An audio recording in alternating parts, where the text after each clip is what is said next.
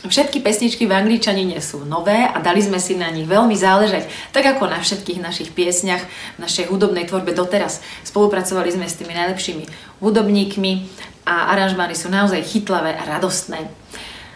Okrem toho sú pre mňa piesne e, súčasťou celej výučby angličtiny, pretože um, skladala som ich v súvislosti s témou danej lekcie.